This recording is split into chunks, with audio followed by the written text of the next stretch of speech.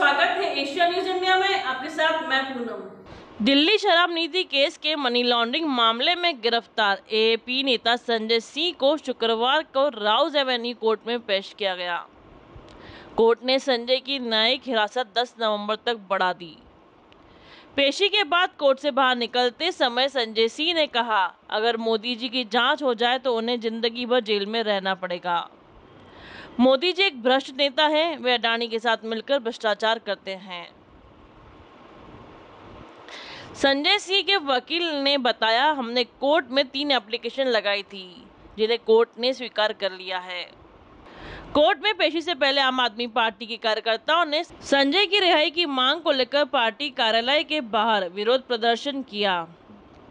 एक कार्यकर्ता ने कहा हम न्यायपालिका में विश्वास करते हैं, लेकिन कई बार प्रक्रिया सजा बन जाती है। यह क्या है? तारीख पे तारीख संजय सिंह को जल्द से जल्द बरी किया जाना चाहिए।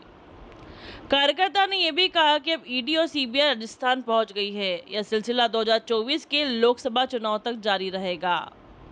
एएपी प्रदर्शनकारी भाजपा ऑफ़िस तक मार्च निकालने वाले थे, लेकिन पुलिस ने उन्हें रोक दिया और हिरासत में ले लिया। इसी के साथ बने रहे एशिया न्यूज़ इंडिया के साथ। धन्यवाद।